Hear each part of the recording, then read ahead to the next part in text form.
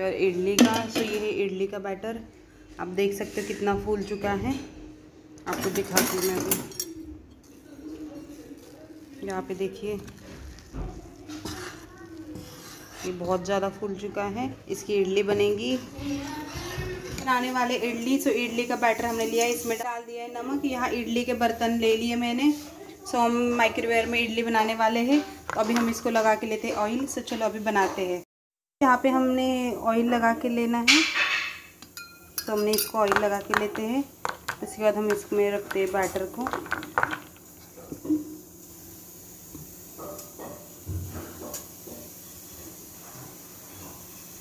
हमने बैटर को ज़्यादा भरना नहीं है।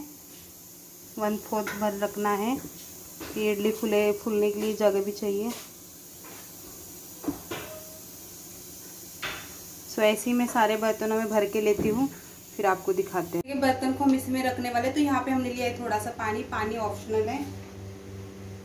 सो अब इसमें हम भर के लेंगे। सो इसको हम पूरा नहीं भरेंगे वन फोर्थ ही भरेंगे।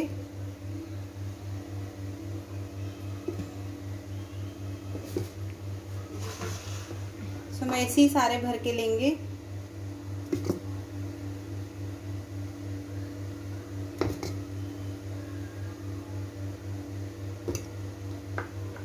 हमने सारा भर दिया है। अब इसका हम लगा देंगे ढक्कन। इसको हम रखेंगे पाँच मिनट के लिए माइक्रोवेव में। सो चलो अभी बनाते, दिखाती हूँ आपको आगे। तो सारे बैटर को हमने भर दिया है इडली के बॉक्स में। अभी हम लगाएँगे माइक्रोवेव में। पाँच मिनट के लिए हम लगाते हैं। सभी दिखाते हैं आपको।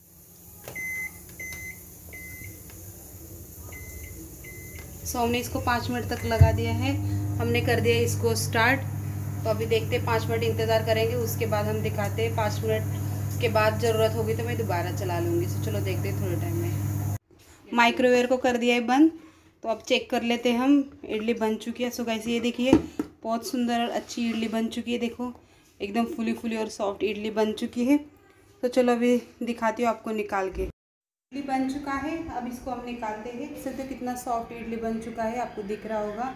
तो यहाँ पे मैं सारे इडली निकाल के लेती हूँ। यहाँ मैं हॉटकेस में निकाल के रख रही हूँ। ये निकाल के रख देंगे। मैं इडली बन चुकी है। तो ऐसे ही हम सारी इडली बना के लेते फिर आपको दिखाते थोड़े टाइम बाद। हमारी इडली बनकर रेडी है। या देखिए अब मैंने रख दिया हॉटकेस में।